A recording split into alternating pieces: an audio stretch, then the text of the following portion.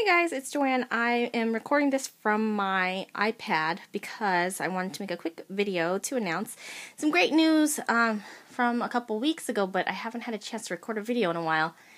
Oh, I'm out of breath because I ran up the stairs to hide from my kids. Anyway, um, I was asked um, to join the design team at Kat Scrappiness. Hi, Kat. Her YouTube channel is The Kat's Meow 1969, I think it is. Um, I'm gonna try to remember to put it in the description box down below. I don't know how to do that when I'm uploading from my iPad, but anyway, she opened up an Etsy shop recently.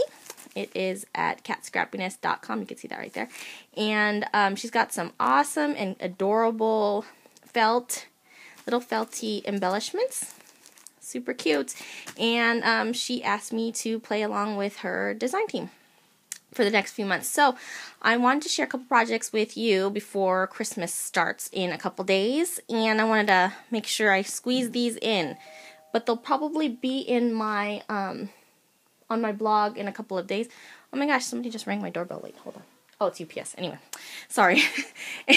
anyway, um, so for the first design team package I um, received, I received a, a couple of stuff. She was kind enough to just say or ask us what we um, wanted in her shop, and then and whatever. So I didn't have a preference, but I did like these cute little ornaments and I used a couple of them already. So, and they come pa packaged pretty nicely with her little logo here and her website. That's very clever. And then it was folded down and super cute. It's packaged on craft paper, nice and sturdy. And then I got these little holly leaves, some cute little reindeer, some adorable penguins. These are pretty big. If you can see my hand, they're pretty big. So these, the big ones I'll probably use on scrapbooking layouts when I get a chance, but I haven't scrapbooked in a while. And these, this cute bell, and this set of gingerbread men. There were two, but I used the second one. So I'll show you the cards that I made.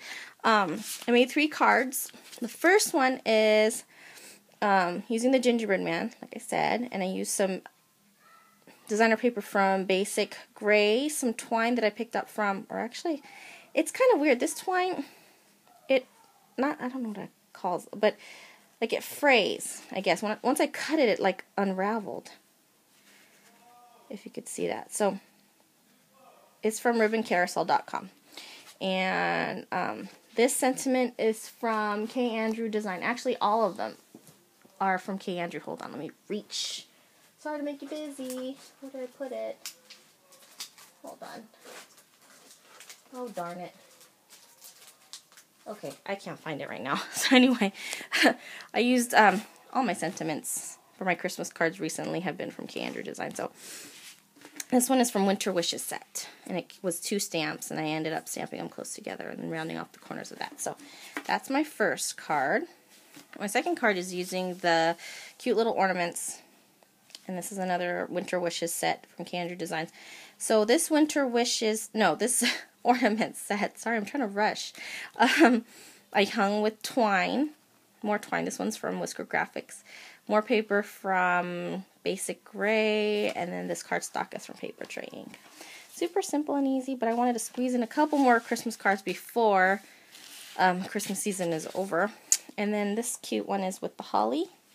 More ribbon from Ribbon Carousel, and another sentiment from the Winter Wishes set from K. Andrew Designs. So, um, I thought this would be super cute with this background paper, if you could see. Gosh, holding this iPad is not easy, I'm telling you. But yeah, so three layers of um, holly leaves and little cute little berries. I think it adds a lot of dimension. These felties are super cute. So anyway, I want to thank Kat for asking me to join and play along for the next few months. I've got some great ideas using all this stuff and hope to show you some more again soon. I'll talk to you later. Thanks for watching today. Bye.